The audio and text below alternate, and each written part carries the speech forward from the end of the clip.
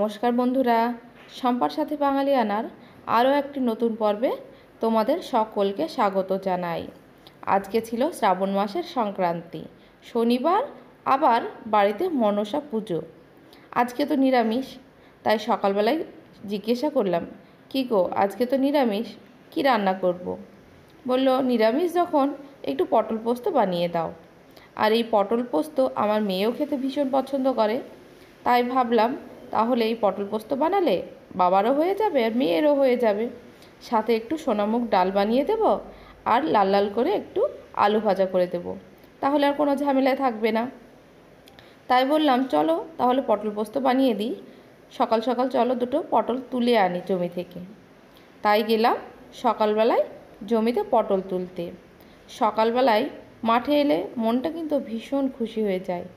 চারিদিকের প্রাকৃতিক পরিবেশ দেখে। আর জমির টাটকা পটল তুলেও নিলাম। এই পট, টাটকা পটল দিয়ে পটল পোস্ত করলে কিন্তু ভীষণ ভালো লাগে খেতে। পটলগুলো খুবই ভালো, দেখতে পাচ্ছ তোমরা? তাই সকালবেলায় আমি আর আমার বর মিলে চলে এসেছি জমিতে।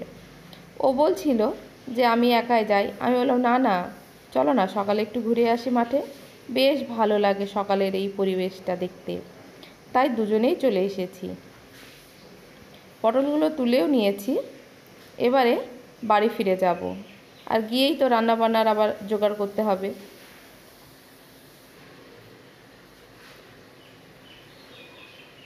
পটল তুলে বাড়িতে চলেও এসেছি। গ্যাসে একটা কুকার বসিয়ে দিয়েছি। এই প্রেশার কুকারে ডালটাকে ভেজে নেব। শুকনো প্রেশার কুকারে আমি ডালটা ভেজে নিচ্ছি, লাল লাল করে। দেখো, ডাল ভাজা হয়ে গেছে। আর আমি গরম জলও করে নিয়েছিলাম আগে থেকে। এই গরম জল দিয়ে ডালটাকে একটু ভালোভাবে ধুয়ে নেব। খুন্তির সাহায্যে নাড়াচাড়া করে ডালটাকে কিন্তু আমি ভালোভাবে পরিষ্কার করে নিয়েছি দুবার জল পাল্টে পাল্টে।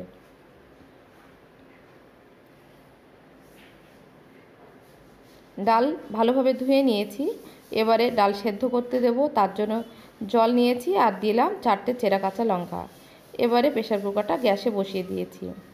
অন্যদিকে আলু ভাজা করার জন্য সরু সরু করে আলুগুলো আমি কেটে নিয়েছি। এই আলুতে আগে থেকে লবণ মাখিয়ে রাখব, তাহলে আলুগুলো খুব ভালোভাবে নরম হয়ে যাবে আর ভাজাও তাড়াতাড়ি হয়ে যাবে।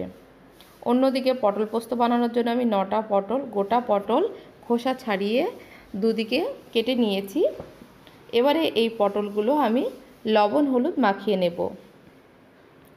দেখতে পাচ্ছ তোমরা, আমি লবণ, হলুদ মাখিয়ে নিচ্ছি পটলগুলোকে। আগে থেকে লবণ, হলুদ মাখিয়ে নিলে পটলের মধ্যে লবণটা ভালোভাবে ঢুকে যায় বলে আমি লবণ, হলুদটা বেশ একটু আগে সময় নিয়েই ভেজে, মেখে নিচ্ছি। পটলগুলোতে লবণ, হলুদ মাখিয়ে নিয়েছি আর দুই দিকে দেখতে পাচ্ছ এরকম চিড়ে দিয়েছি। এতে করে পটলের মধ্যে লবণ ঢুকে যাবে আর মশলার টেস্টটা ওর ভেতরে ঢুকে যাবে সেই জন্য। এবারে গ্যাসে যে প্রেশার কুকারটা বসিয়েছিলাম, সেই প্রেশার কুকারে তিনটে সিটি দিয়ে নিলে প্রেশার কুকারটা আমি নামিয়ে নেব। তিনটে সিটি দিয়ে দিয়েছে, এতে করে ডাল কিন্তু খুব ভালোভাবে সেদ্ধ হয়ে যাবে। এবারে কুকারটা নামিয়ে দিব ঠান্ডা হওয়ার সময় পর্যন্ত। অন্যদিকে গ্যাসে আমি একটা কড়াই বসিয়ে দিয়েছি, কড়াইয়ে দিয়ে দিলাম এক টেবিল চামচ মতো গোটা জিরে। এই জিরেটাকে ভেজে নেব। এই ভাজা জিরে দিলে কিন্তু ডালের টেস্টটা খুবই ভালো হয়। সেই জন্য আমি এই যখনই সোনামুখ ডাল রান্না করি, তখনই এই রকম জিরের গুঁড়োটা দিয়ে থাকি। এবারে দিয়ে দিলাম কড়াইয়ে চার টেবিল মতো সর্ষের তেল। এই সর্ষের তেলে দিয়ে দেবো আগে থেকে লবণ মাখিয়ে রাখা আলুগুলো। লবণ মাখিয়ে রাখার জন্য আলুগুলো দেখো কি সুন্দর নরম হয়ে গেছে আর কতটা পরিমাণে জল বেরিয়েছে। এতে করে আলু কিন্তু তো খুবই তাড়াতাড়ি ভাজা হবে বলে আগে থেকে আমি লবণ মাখিয়ে রেখেছিলাম। কড়াইয়ে আলুগুলো দিয়ে দিয়েছি। খুন্তির সাহায্যে আলুগুলো খুব ভালোভাবে নাড়াচাড়া করে এদিকে ওদিকে ছড়িয়ে দেব। এতে আলুগুলো ভাজা হয়ে যাবে। আলুতে কিন্তু সাথে সাথে আমি হলুদ দিইনি। যখন আলুগুলো অর্ধেক ভাজা হয়ে গেছে, তখন হলুদ দেব। না হলে কিন্তু আলুগুলো কড়াইয়ে লেগে যায়। যেহেতু আমি একটু কম তেল দিয়ে আলুগুলো ভাজা করছি, সেই জন্য হলুদ দিয়ে আরও ভালোভাবে খুন্তি দিয়ে আলু আর হলুদগুলোকে মাখিয়ে নিলাম। এবারে আলুগুলো আরও চার পাঁচ মিনিট মতো ভেজে নিতে হবে। গ্যাসের ফ্লেমটা মিডিয়ামে রেখে। চার পাঁচ মিনিট পরে দেখো আলুগুলো ভাজা হয়ে গেছে লাল লাল করে, আর দেখতেও খুব সুন্দর লাগছে। এইবারে একটা প্লেটে আমি আলুগুলো তুলে নেব। সমস্ত আলু ভাজাগুলো তুলে নেওয়া হলে ওই কড়াইয়ে আমি দিয়ে দেব ডালটাকে ফোড়ন। দেখো আলু ভাজাগুলো তুলে নিয়েছি, এই কড়াইয়ে ডাল ফোড়ন দেব। সেই জন্য কড়াইয়ে দিয়ে দেব তিন টেবিল চামচ মতো সর্ষের তেল।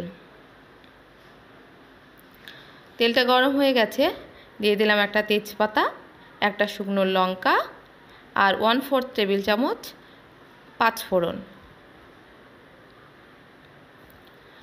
এবারে এই মশলাগুলো দশ সেকেন্ড মতো ভেজে নিলে কিন্তু ফোড়ন থেকে সুন্দর গন্ধ বের হবে। তখন দিয়ে দেব আগে থেকে বেটে রাখা আদা জিরে। আমি দু টেবিল চামচ আদা জিরে বাটা দিলাম। আদা জিরে বাটাকেও কিন্তু যতক্ষণ না আদার কাঁচা গন্ধ চলে যাবে ততক্ষণ ভেজে নিতে হবে। গ্যাসের ফ্লেমটা মিডিয়ামে রেখে আমি আদা জিরেটাকে ভেজে নেব। খুন্তি দিয়ে নাড়াচাড়া করে দিলাম। এবার তোমাদের দেখিয়ে দেবো ডালটা কতটা ভালো সেদ্ধ হয়েছে। দেখো প্রেশার কুকারটা ঠান্ডা হয়ে গেছে। পরে ঢাকনাটা খুলে দিলাম। আর এখানে ডালটাও সেদ্ধ হয়ে গেছে। ডালটাকে একটা হাতার সাহায্যে নাড়াচাড়া করে নেব। তাহলে ডালটা কিন্তু ঘাটা হয়ে যাবে।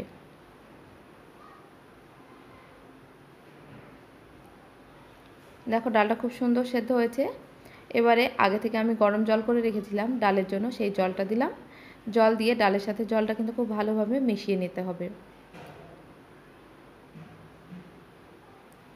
ডালের সাথে জলটা মিশিয়ে নিয়েছি। আর আদা জিরেটাও ভাজা হয়ে গেছে। দেখতেই পাচ্ছ? এবারে এই ভাজা মশলার মধ্যে দিয়ে দেব হলুদ আর দিয়ে দেব চিনি। এই মশলাতে হলুদ দিলে কিন্তু ডালের কালারটা খুব সুন্দর আসে বলে আমি হলুদটা সবসময় এই মশলার সাথেই ভেজে নিই। এবারে দিয়ে দিলাম অল্প সামান্য পরিমাণে চিনি। হলুদ আর চিনি দিয়ে আরও এক মিনিট মশলার সাথে ভেজে নেব। এবারে মশলা ভাজা হয়ে গেছে। আগে থেকে যে ডালটা রেডি করে রেখেছিলাম, সেই ডালটাকে দিয়ে দেব। ডাল দিয়ে দিয়েছি। খুন্তির সাহায্যে আরও একবার নাড়াচাড়া করে নিলাম।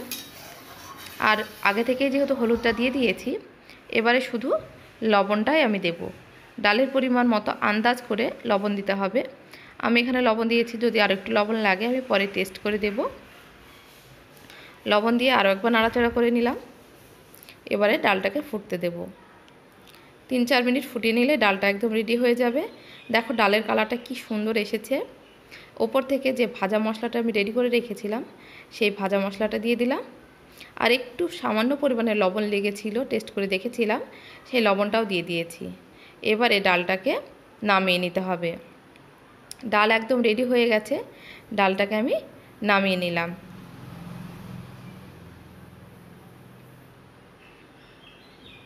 তারপরে কড়াইটা আবার গ্যাসে বসিয়ে দিলাম পটল পোস্ত বানানোর জন্য। আমি এখানে চার টেবিল চামচ মতো সর্ষের তেল দিলাম, যেহেতু পটলগুলোকে আগে ভেজে নিতে হবে।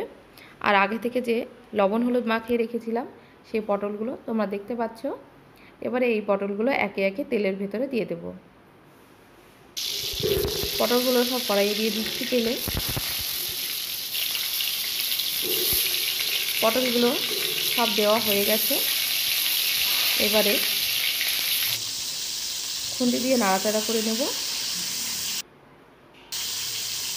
তারপরে একটা ঢাকনার সাহায্যে পটলগুলোকে ঢেকে দেব। একটু ঢাকা দিয়ে পটলগুলো ভেজে নিলে কিন্তু পটলটা খুবই তাড়াতাড়ি নরম হয়ে যায়। সেই জন্য আমি ঢাকা দিয়ে কিছুটা সময় পরপর ঢাকনা তুলে পটলগুলো ভেজে নেব। অন্যদিকে পটল পোস্তর জন্য যে মশলাটা লাগবে সেই মশলাটা আমি রেডি করে নিচ্ছি। দিয়ে দিলাম দেড় চামচ মতো কালো সর্ষে আর সে সেম একই পরিমাণে দিয়ে দিলাম পোস্ত। আর দিয়ে দেবো দুটো কাঁচা লঙ্কা। এবারে এই মশলাটাকে পেস্ট বানিয়ে নেব।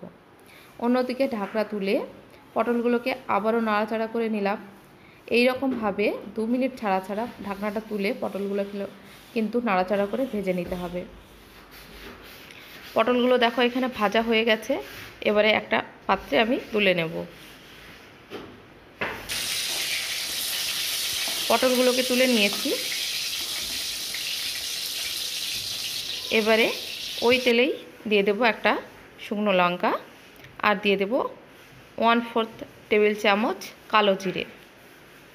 শুকনো লঙ্কা আর কালো জিরেটাকে পাঁচ সেকেন্ড মতো নাড়াচাড়া করে নিলাম। এবারে দিয়ে দেবো আগে থেকে যে মশলার পেস্টটা বানিয়ে নিয়েছিলাম, সেই মশলাটা। মশলাটা দিয়ে দিয়েছি, খুন্তির সাহায্যে ভালোভাবে নাড়াচাড়া করে নেব। মশলাটাকে এখানে দু মিনিট মতো ভেজে নিতে হবে।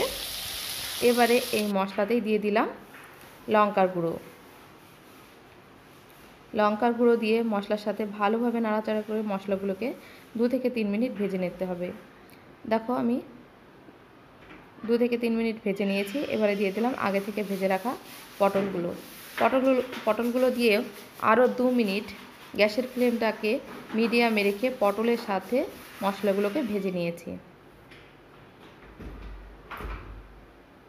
মশলা পটলের সাথে খুব ভালোভাবে ভাজা হয়ে গেছে। এবারে দিয়ে দেব অল্প সামান্য পরিমাণে জল। তোমরা যেমন গ্রেভিটা চাইবে সেই মতো দেবে। আমার খুব বেশি গ্রেভির প্রয়োজন ছিল না বলে জলটা কম পরিমাণে দিয়েছি। আর দিয়ে দিলাম তিনটে চেরা কাঁচা লঙ্কা। এরপরে ঢাকনা দিয়ে ঢেকে দেব। ঢাকনা তুলে নিয়েছি। তিন মিনিট ফুটিয়ে নিয়েছি, দেখো। পটলগুলোও কিন্তু খুব সুন্দর সেদ্ধ হয়ে গেছে। আর গ্রেভিটাও একদম মাখো মাখো হয়ে গেছে। দেখলাম অল্প সামান্য পরিমাণে লবণ লাগবে। তাই সামান্য পরিমাণে লবণ আর ওপর থেকে এক টেবিল চামচ সর্ষের তেল ছড়িয়ে দিলাম। খুন্তির সাহায্যে আরও একবার ভালোভাবে মিশিয়ে নেব। এবারে গ্যাসের ফ্লেমটাকে বন্ধ করে ঢাকনা দিয়ে পাঁচ মিনিট স্ট্যান্ডিং টাইমে রেখে দেব। গ্যাসের ফ্লেমটা বন্ধ করে দিয়েছি, ঢাকনাও দিয়ে দিলাম। পাঁচ মিনিট পরে তোমাদের দেখিয়ে দিচ্ছি পটল পোস্তটা দেখতে ঠিক কেমন হয়েছে। দেখো, আমার পটল পোস্ত এখানে পরিবেশনের জন্য একদম রেডি হয়ে গেছে। আর দেখতে কিন্তু খুবই সুন্দর হয়েছে। খেতেও কিন্তু ঠিক তেমনই সুন্দর হয়েছিল। তোমরা কিন্তু যে কোনো নিরামিষ দিনে এই কম্বোটা বানিয়ে দেখতে পারো।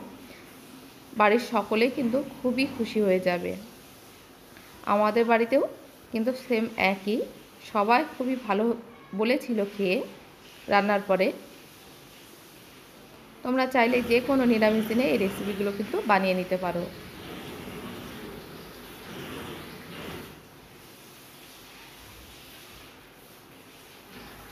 একদম পটল পোস্তটা পরিবেশনের জন্য রেডি হয়ে গেল। আর আমাদের এই কম্বোটা তোমাদের কেমন লাগল অবশ্যই আমাকে জানাবে। আমার এই রেসিপিটি যদি তোমাদের ভালো লেগে থাকে, অবশ্যই আমার চ্যানেলটিকে সাবস্ক্রাইব করে দেবে। আরও নিত্য নতুন রেসিপি পাওয়ার জন্য। আর যখনই আমি কোনো রেসিপি শেয়ার করব, সেটা সবার আগে পেয়ে তোমরা পাওয়ার জন্য বেল আইকনটা প্রেস করে দেবে। বাই